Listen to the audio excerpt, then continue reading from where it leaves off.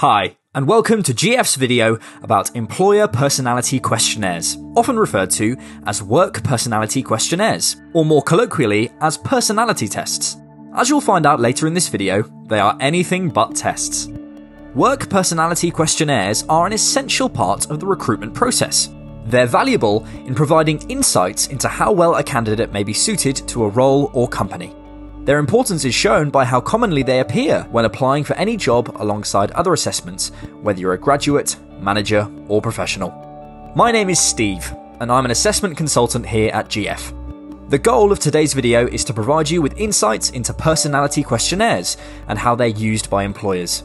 By the end of this video, you will be ready to practice a personality questionnaire for yourself and have a better understanding of how to best approach real employer personality assessments in order to land your dream job first time. Personality questionnaires aim to provide a picture of a candidate's preferences when applying to a role.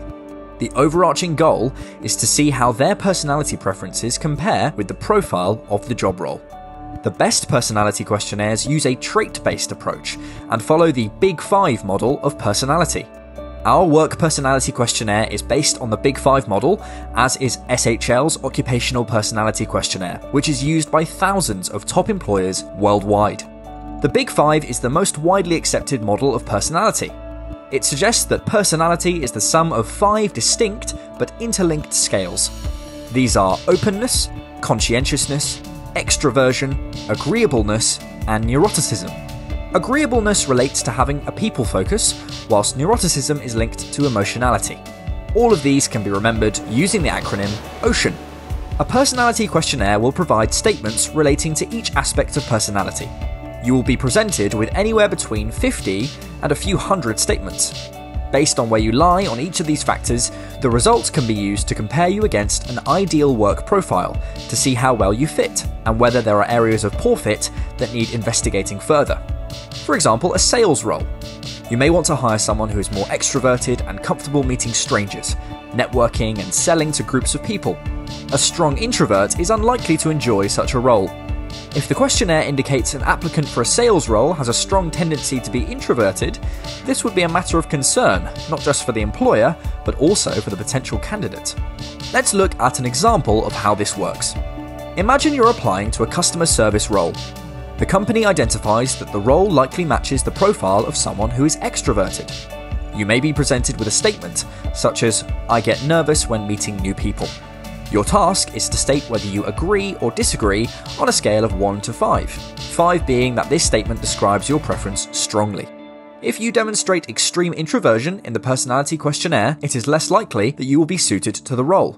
Although it's important to note that introverted people, of course, can be perfectly well adapted to interacting effectively, and other factors in the recruitment process will play a part in determining your suitability overall, such as technical ability and competence.